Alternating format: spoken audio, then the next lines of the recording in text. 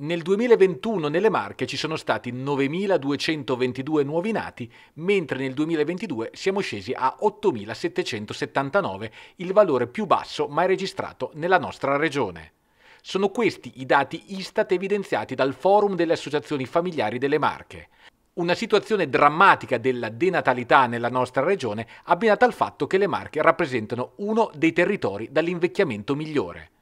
Tutte e cinque le province marchigiane hanno registrato cali. A Pesaro Urbino si è passati da 2182 a 2122 nati in un anno, in un calo che parte da lontano.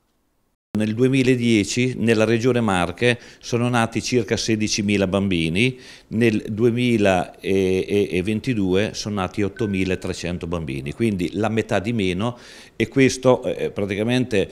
ci, fa, ci dovrebbe far pensare ad una riorganizzazione di quelli che sono un po' i punti nascita, in quanto eh,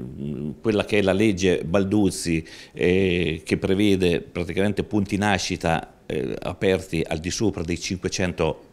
nati e, e praticamente dovrebbe mm, mettere in mano ai politici no, una riorganizzazione eh, del, del, di questo lavoro e di questa eh, organizzazione appunto dei punti nascita. Oggi eh, bisogna mh, mm, lavorare in sicurezza e, e la professionalità dei medici migliora quando ci sono dei numeri importanti no, nel luogo dove si lavora. C'è anche un altro problema, noi dobbiamo anche incentivare quelle che sono praticamente le politiche, no, e questo è un monito che faccio anche ai, ai, politici della regione, di fare delle leggi per incentivare quella che è la politica eh, eh, della famiglia, dove praticamente oggi fare eh, figli dovrebbe essere una ricchezza per le famiglie, dove praticamente i politici dovrebbero dare e io faccio un po' di polemica, invece che dare dei, dei, eh, degli assegni per redditi di cittadinanza, dovrebbero dare degli assegni corposi a quelle donne che partoriscono più figli,